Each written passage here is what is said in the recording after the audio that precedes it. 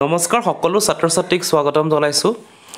H S L C two thousand twenty tour যিখন programme already publish কৰিলে মই মোৰ শাৰীৰিক অসুস্থতাৰ বাবে সেইটো সময়ত মই প্ৰগ্ৰেমখনৰ ওপৰত কোনো ভিডিঅ' বা কোনো ডিছকাশ্যনো আমি কৰা নহ'ল।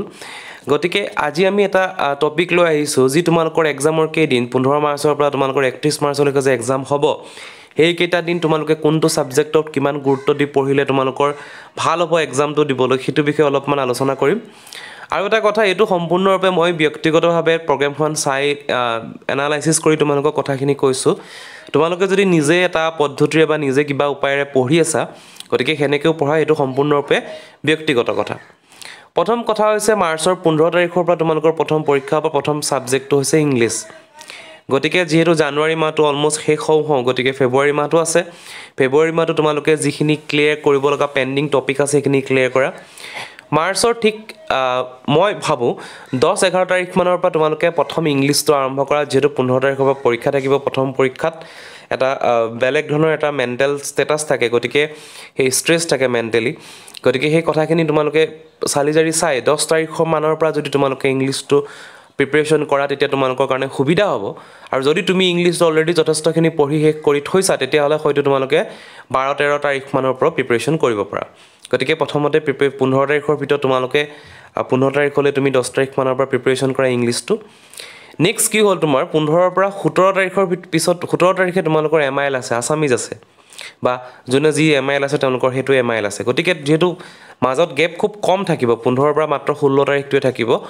গতিকে আছামিজৰ যিসকল ষ্টুডেণ্ট আছে বা বাকী এম আই এল যিসকল ষ্টুডেণ্টৰ আছে বা ইংলিছ ইন নিউ লেংগুৱেজত ইংলিছ যদি কোনোবাই লৈছা তেতিয়া তোমালোকে সেই ছাবজেক্টটো ঠিক ইংলিছ তোমালোকৰ পোন্ধৰ তাৰিখৰ ইংলিছৰ প্ৰিপেৰেশ্যন কৰাৰ আগত ঠিক মাৰ্চৰ সাত আঠ তাৰিখমানৰ পৰা সেই ছাবজেক্টটো অলপমান পঢ়িবা যিহেতু তোমালোকৰ হাতত মাত্ৰ এদিনেই গেপ পাবা।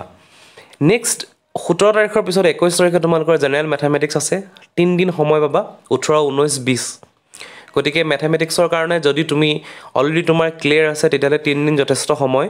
কিন্তু যদি তোমালোকৰ কিছুমান ক্ষেত্ৰত অলপমান উইক বুলি ভাবা নিজকে তেতিয়াহ'লে হয়তো মাৰ্চৰ আৰম্ভণিতে দুদিন বা এদিন তোমালোকে মেথছত দি দিবা আৰু নেক্সট এই তিনিটা দিনো তোমালোকে সম্পূৰ্ণৰূপে মেথামেটিক্স কৰিবা।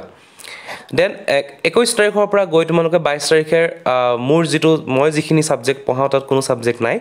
দেন পঁচিছ তাৰিখে আছে ডাইৰেক্ট জেনেৰেল ছায়েন্স গতিকে তাৰ কাৰণে তিনিদিন সময় আৰু পাবা। বাইছ তেইছ চৌব্বিছ তিনিদিন সময় পাবা জেনেৰেল ছায়েন্সৰ কাৰণে। ঠিক একে কথা জেনেৰেল ছায়েন্সৰ যদি তোমালোকৰ অলৰেডি ক্লিয়াৰ আছে তোমালোকে তিনিদিন যথেষ্ট সময়। আৰু যদি ক্লিয়াৰ হোৱা নাই তোমালোকে মাৰ্চৰ আৰম্ভণিতে মেথছ আৰু ছায়েন্সৰ কাৰণে এটা এটা দিন তোমালোকে দিবা। তেতিয়া তোমালোকৰ এই মাজৰ তিনিদিনৰ জেগাত তোমালোকৰ ধৰা ইয়াত এটা দিন যদি যোগ হৈ যায় চাৰিদিন প্ৰিপেৰেশ্যন কৰিলেও যথেষ্ট টাইম হ'ব তোমালোকৰ কাৰণে। আৰু ছায়েন্সটো যিহেতু অলপমান লেন কৰ্চটো ডাঙৰ হয় গতিকে যদি তুমি ছায়েন্সৰ প্ৰিপেৰেশ্যন কমপ্লিটো হৈ আছে। তথাপিতো ছায়েন্সৰ কাৰণে মাৰ্চৰ এক তাৰিখৰ পৰা দহ তাৰিখৰ ভিতৰত মোৰ মতে এদিন বা দুদিন তোমালোকে টাইমটো তাত দিবা। দেন তোমালোকৰ আহিলে ছ'চিয়েল ছায়েন্স পঁচিছৰ পিছত গৈ টুৱেণ্টি এইটত আছে ছ'চিয়েল ছায়েন্স গতিকে মাজত দুদিন গেপ আছে ছাব্বিছ আৰু সাতাইছ গতিকে ছ'চিয়েল ছায়েন্সো যথেষ্ট দীঘলীয়া ছাবজেক্ট হয় গতিকে তিনিদিন প্ৰয়োজন হয় ছ'চিয়েল ছায়েন্সৰ কাৰণে মই ভাবোঁ। গতিকে সেইটো হিচাপে চাব গ'লে আমি মাৰ্চৰ আৰম্ভণিতে ছ'চিয়েল ছায়েন্সৰ এদিন বা দুদিন সময় দিব লাগিব। গতিকে সেইকেইটা মেইন ছাবজেক্ট হ'ল। দেন আঠাইছৰ পিছত ঊনত্ৰিছ তাৰিখে তেনেকুৱা কোনো ছাবজেক্ট নাই যিখিনি আমি ডিছকাছ কৰোঁ। দেন ত্ৰিছ তাৰিখে হিন্দী আছে। হিন্দী যিহেতু যিসকল ষ্টুডেণ্টৰ হিন্দী ইলেক্টিভ ছাবজেক্ট আছে তেওঁলোকৰ কাৰণে জাষ্ট মাত্ৰ এটা দিনেই পাবা। আঠাইছৰ পিছত ঊনত্ৰিছ তাৰিখে তোমালোকৰ গেপ পাব তাৰপৰা ত্ৰিছ তাৰিখে হিন্দী। কিন্তু হিন্দী যথেষ্ট দীঘল ছাবজেক্ট হ'ল লিটাৰেচাৰ ছাবজেক্ট গতিকে দুদিন হ'লে ভাল আছিল যিহেতু এদিনেই দিছে গতিকে হিন্দীও তোমালোকে এটা দিন প্ৰিপেৰেশ্যন কৰিব লাগিব। মাৰ্চৰ আৰম্ভণিতে। দেন থাৰ্টি ফাৰ্ষ্ট মাৰ্চ পৰীক্ষা শেষ যিদিনা হ'ব সেইদিনা advance mathematics history geography home science হওক বা কম্পিউটাৰ ছায়েন্স আছে। ইয়াৰে গোটেইকেইটা ছাবজেক্টেই টান বা উজু বুলি নহয় কিন্তু যথেষ্ট দীঘলীয়া ছাবজেক্ট যথেষ্ট পঢ়িব লাগিব। এডভান্সেই হওক এডভান্সত যথেষ্ট প্ৰেক্টিচ কৰিব লাগিব। দেন হিষ্ট্ৰীটো যথেষ্ট ষ্টাডি কৰিব লাগিব জিঅ'গ্ৰাফি তেনেকৈ ষ্টাডি কৰিব লাগিব কম্পিউটাৰ ছায়েন্সো যথেষ্ট প্ৰেক্টিচ কৰিব লাগিব তোমালোকে। গতিকে যিহেতু এতিয়া এই যাৰ হিন্দী নাই তেওঁলোকে কি কৰিব? আঠাইছৰ পিছত ডাইৰেক্ট থাৰ্টি ফাৰ্ষ্টত পৰীক্ষা দিব মাজত দুদিন পাব ঊনত্ৰিছ আৰু ত্ৰিছ তাৰিখ। গতিকে সেই দুদিনত তোমালোকে প্ৰিপেৰেশ্যন যদি ভাবা যে তোমাৰ কনফিডেণ্ট আছে তেতিয়াহ'লে দুদিনৰ কাৰণে ৰাখিব পাৰা।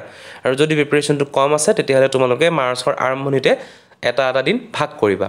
গতিকে আমাৰ কি হ'ল মই মাৰ্চৰ এক তাৰিখৰ পৰা কথাখিনি প্লেনিংটো কৈ আছোঁ।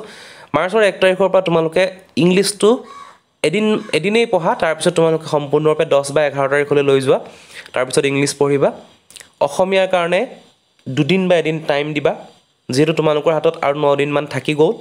সেই ন দিনত অসমীয়াৰ কাৰণে দুদিন এদিন টাইম দিবা। মেথমেটিক্স এদিন পঢ়িবা। জেনেৰেল ছায়েন্সটো এদিন পঢ়া যদি অলপমান উইক হয় দুদিন পঢ়া।